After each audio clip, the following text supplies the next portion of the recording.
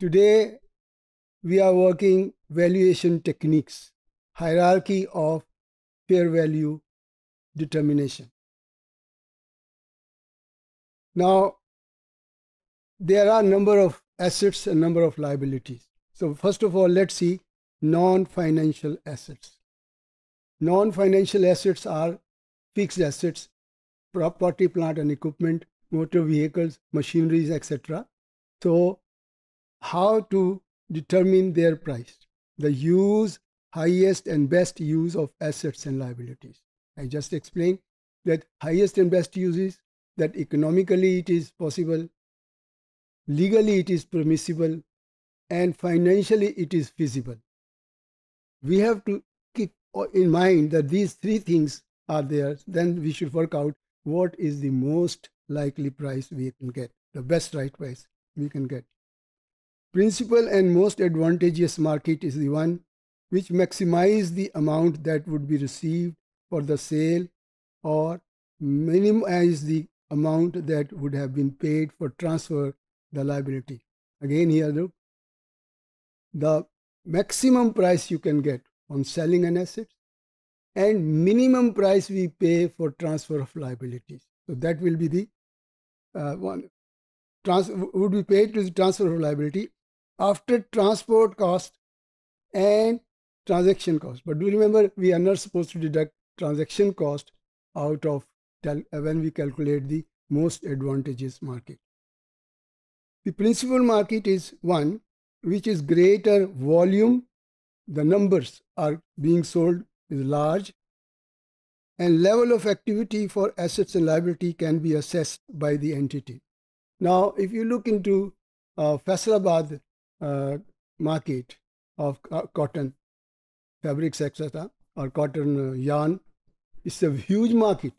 So, and there is market in Lahore also, Sutar market, Sutar mandi जैसे हम कहते हैं हमने प्रिंसिपल मार्केट को देखना है जो बड़ी मार्केट है जिसमें large volume of goods and services are sale की जा रही हों उसकी मार्केट को देखना है और उसमें देखना है कि उसकी प्राइस क्या चल रही है दी एंड इक्विटी इन्वेस्टमेंट्स, ये इक्विटी इन्वेस्टमेंट क्या होती है कि किसी भी कंपनी के शेयर आप खरीदते हैं।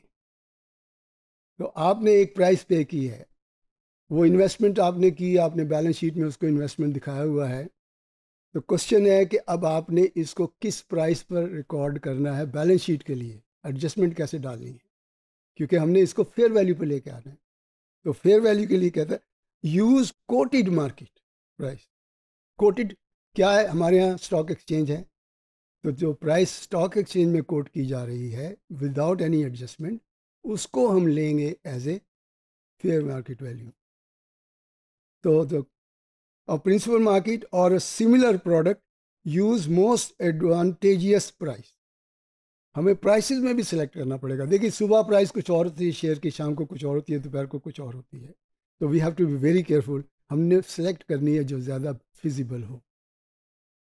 ज़्यादा जिसमें हमें नफ़ा नज़र आता हो। The maximum amount to receive to sell the assets and to pay the minimum price of liability asset बेचना है तो उसके लिए हमें मैक्सिमम अमाउंट रिसीव उसको देखना है। और अगर लाइबिलिटी ट्रांसफ़र करनी है, लेकिन लाइबिलिटी ट्रांसफ़र है सेटल नहीं। ट्रांसफ़र का मतलब ये है कि आप अपनी लाइबिलिटी किसी और को बेच रहे हैं। ठीक है? आप अपनी लाइबिलिटी को किसी और को बेच रहे हैं तो उस पर जो आपको अमाउंट पे करनी पड़े मिनिमम पे करनी पड़े। Financial assets and liabilities business model of entity is to recover contractual cash flow arising on certain date अब इसमें थोड़ी सी एहतियात करनी पड़ती है कि बिज़नेस मॉडल क्या है। अगर आपने डिसाइड किया है कि हमने इसको कॉस्ट पर ही लेके चलना है, यानी हिस्टोरिकल कॉस्ट पर रिकॉर्ड करना है फेयर वैल्यू पर नहीं रिकॉर्ड करना है तो फिर आप हिस्टोरिकल पर चलें। लेकिन रिकमेंडेड ये है कि आप इसको फेयर वैल्यू पर लेकर आएँ क्योंकि फेयर वैल्यू जो है ना that is most recommended method क्योंकि कॉस्ट मेथड में ये होता है कि आप uh, उसको कॉस्ट में लेके चलते हैं उसको फिर अमोटाइजेशन करते हैं कि किस तरह से हम उसको पे ऑफ़ करेंगे और कितनी उसकी प्राइस निकलेगी। लेकिन फाइनेंशियल एसेट्स जो हैं वो बेसिकली जिसमें क्लियर है कि इतने पैसे हमें साल के बाद मिल जाने हैं इतनी लाइबिलिटी में एक इतनी साल के बाद हमने पे ऑफ़ करनी है। तो ये इसमें अमाउंट ऑलरेडी डिटर्मिंड है। लेकिन still for the balance sheet purpose financial statement purpose we need to work out their value as well fair value no hierarchy of fair value ये एक इंपॉर्टेंट इशू है कि किस तरह से हमने इस फेयर वैल्यू को लेके चलना है। इसके तीन लेवल हैं। Level one level two level three level one में है ऑब्जर्वेबल इनपुट्स यहाँ मैं एक चीज़ क्लियर करूँ आपको, और ज़रा आसानी हो जाएगी समझने के लिए। देखिए मार्केट की तीन कंडीशंस होती हैं। एक होती है स्ट्रॉन्ग मार्केट स्ट्रॉन्ग मार्केट में क्या है कि एवरीबॉडी नोज़ कि क्या चल रहा है। यानी सबको पता है, कोई छुपी हुई चीज़ नहीं है। एक है आपकी जो कहते हैं सेमी स्ट्रॉन्ग मार्केट कि कुछ को तो पता है, कुछ को नहीं पता है। जो चीज़ लिख कर आ गई अखबार में आ गई उसका तो पता है। और एक होती है वीक मार्केट वीक में क्या है कि कुछ लोगों को तो कुछ कुछ पता है, लेकिन कुछ ऐसे हैं जिनको कुछ नहीं पता है उसके बारे में। वो सिंपली बिलीव करते हैं इधर से उससे बातें सुनकर इंफॉर्मेशन लेकर बट दे डोंट नो तो similarly in this case level one में क्या है?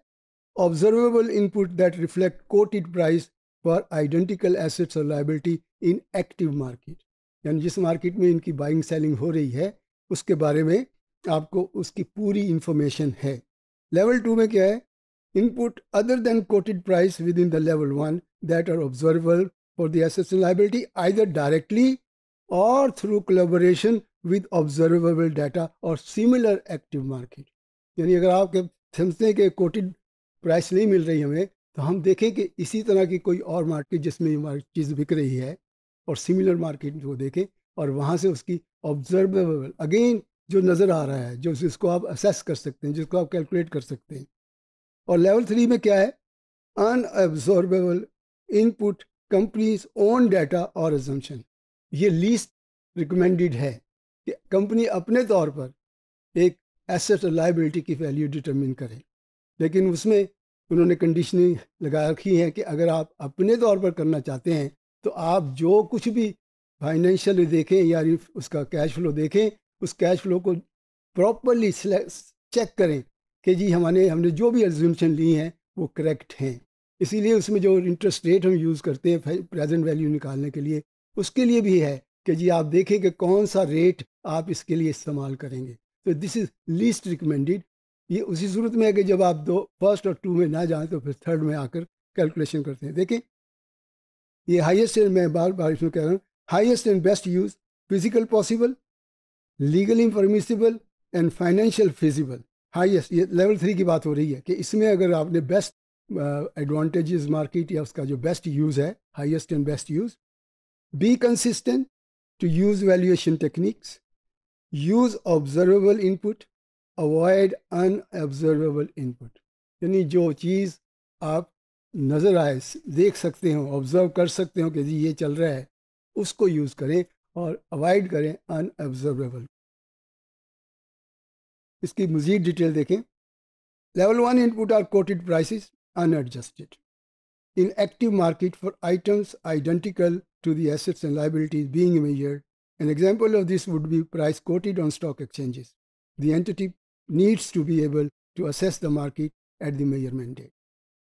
Active market are ones where transaction took place with sufficient frequency and volume for pricing information to be provided. So two things, sufficient maximum यानी ज़्यादा से ज़्यादा वहाँ उसकी आउटपुट हो रही हो जो बाइंग और सेलिंग हो रही हो alternate method may be used where the price quoted in active market does not represent fair value at the measurement date. An example of this would be where significant event took place after the close of the market such as business reorganization and combination. It happens sometime कि आप business market तो है, लेकिन आप खुद से reorganise कर लेते तो आपने वो भी कंसीडर करना है कि जिसका बेस्ट यूज़ क्या होगा। To determine whether fair value measurement is level two और three input depend on whether the inputs are observable input और unobservable input level two inputs are input other than quoted price and level one that are directly or indirectly observable from the assets and liability They are quoted assets or liabilities for similar items in active market or supported by market data. Level 3 inputs are un, unobservable input and the use of these inputs should be kept to minimum यानी इसमें एहतियात है कि कम से कम में हम इसमें जाएँ कोशिश करें कि जो आपको ऑब्जर्वेबल और इनपुट से मिल रही फिगरें उसको इस्तेमाल करें कैश फ्लो फोरकास्ट में be use to value an entity that is not listed listed companies की प्राइसिंग तो स्टॉक एक्सचेंज से मिल जाती है, लेकिन जो लिस्टेड नहीं है स्टॉक एक्सचेंज पर, उनकी प्राइस डिटरमिन करना वो थोड़ा मुश्किल है। और उसके लिए उसे कहा कि जी आप अपनी थर्ड लेवल की जो इन्फॉर्मेशन है उसको लें और वो आप खुद से भी जनरेट करें कैसे कैश फ्लो बनाएँ, उसको डिस्काउंट करें और वो जो फिगर आए उसको आप यूज़ करें as a fair value thank you very much